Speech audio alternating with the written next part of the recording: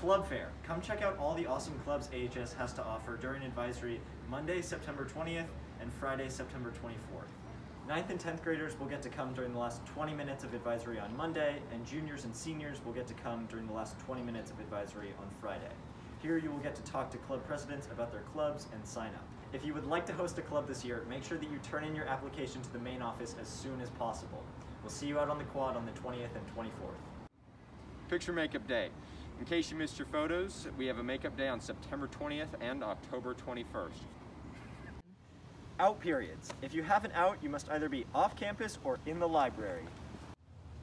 Hi, I'm sitting on the lovely Jeep of V. Ben Sandow. Let's talk about parking. So, students don't need student parking permits for this year. Here in the Lower Mountain parking lot, students are permitted to park for the year, and on the Mountain Street, you are permitted to park. That is where Luke is pointing right now. Students, please do not park in staff parking lots. That would be right here on Mountain as you enter, and over on Moore Street near the gym. Those are all teacher parking lots.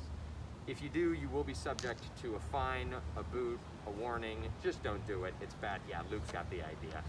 So, have a great year.